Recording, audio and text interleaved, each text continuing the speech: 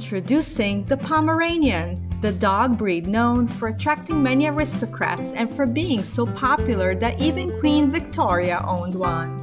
After a visit to Florence, Queen Victoria was so smitten with this breed that she returned to Britain with several Poms in tow.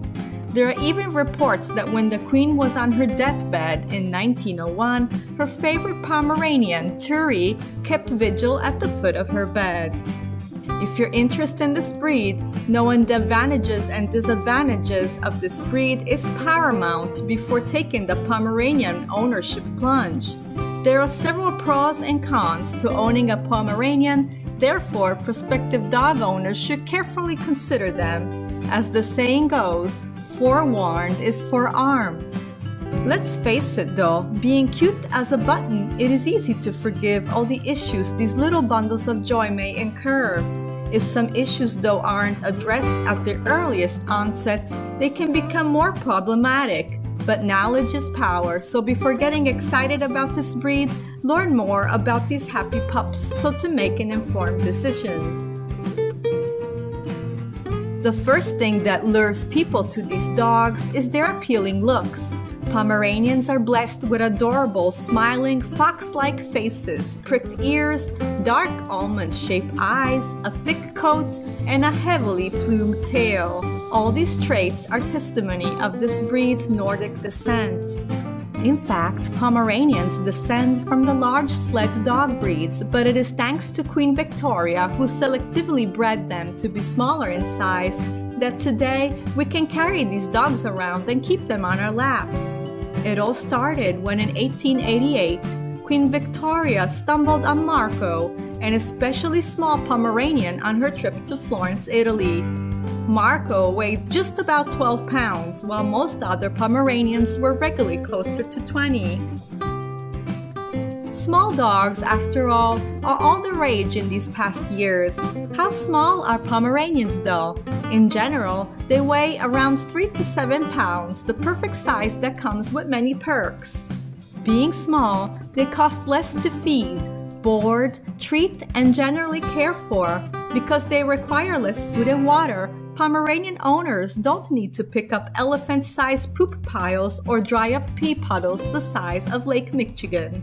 They're also easy to carry around, and sometimes they're also allowed on planes in the cabin with you. And you can bring him or her to places where bigger dogs aren't allowed. Best of all, a Pomeranian won't drag you on walks, kill your neighbor's cat, or terrorize your mail carrier.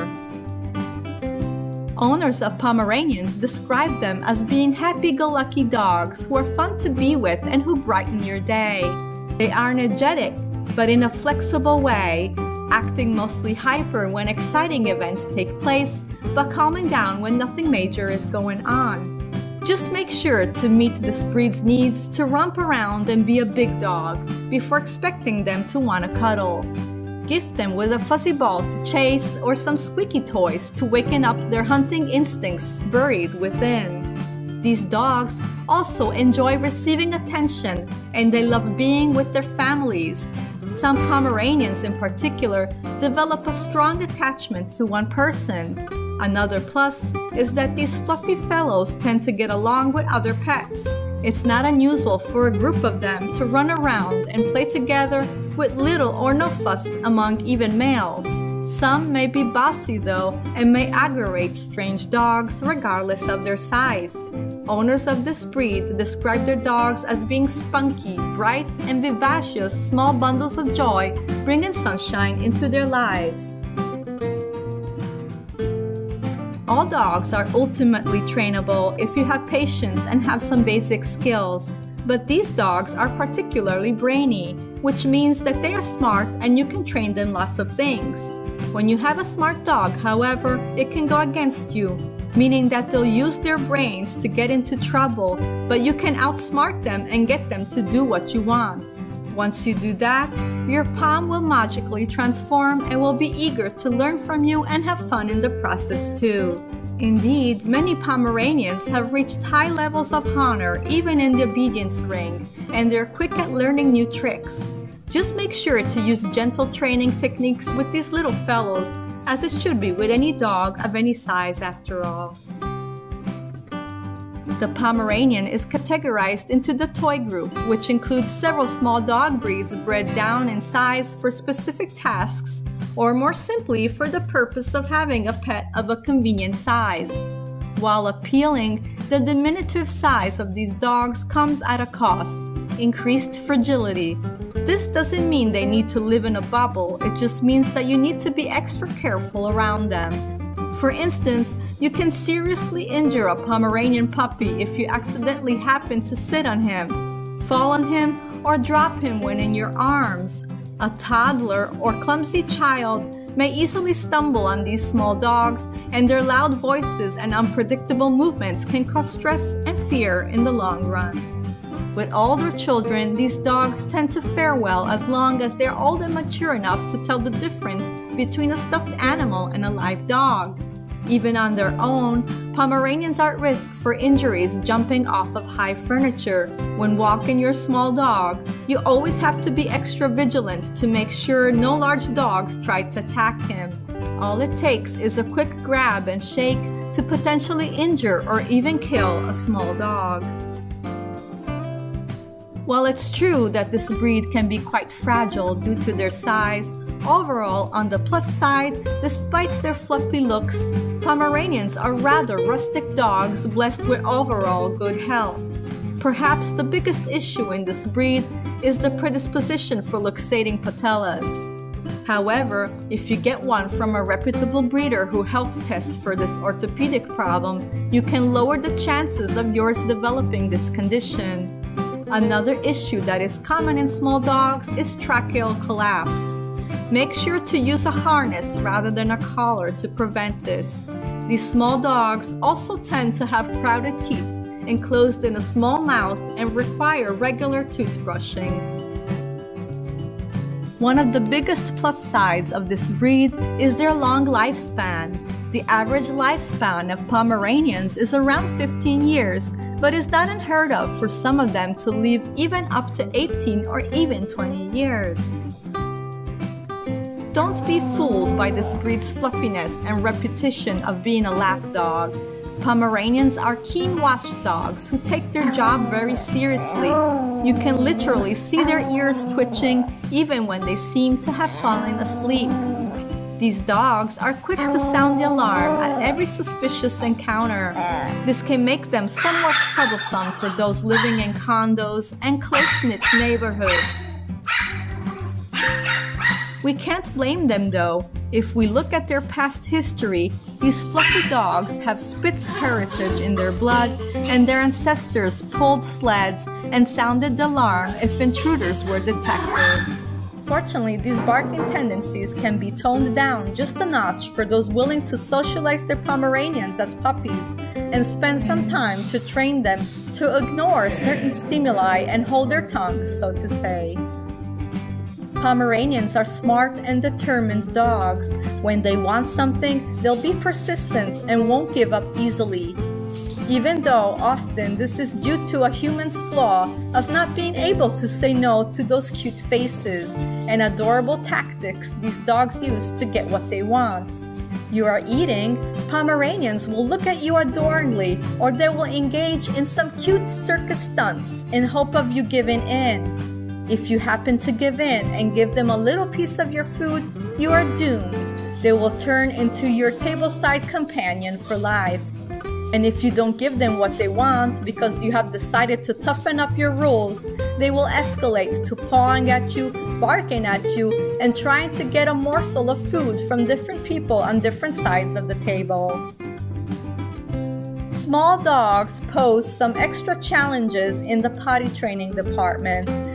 The biggest problem is that being so low and small, it's easy for them to just sneak behind the couch or table to do the deed. Small puddles may go unnoticed for hours or even days if you're not attentive. Uncleaned areas make your home smell like a doggy bathroom, so don't be surprised if your Pomeranian will want to soil in the same places over and over. Fortunately, there are several things you can do to heighten your chances for success. First of all, avoid scruff shakes. putting your Pomeranian's nose in his mess, or scolding your Pom puppy for having accidents in the home. This approach just teaches your dog to hide to pee and poop. Instead, always supervise your pup. Learn to recognize early signs your puppy needs to go potty, and upon noticing any of them, take your puppy to his designated area and praise and reward lavishly for going there. Yay.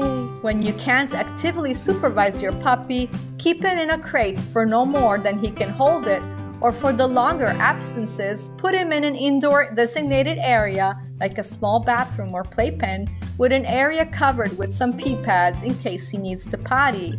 Also, learn how to clean messes properly. Use an enzyme based cleaner like Nature's Miracle to clean and neutralize odors and invest in a black light to find any old messes. While you're at it, every time you take your Pomeranian puppy outside to potty, aim to teach him to go potty on command.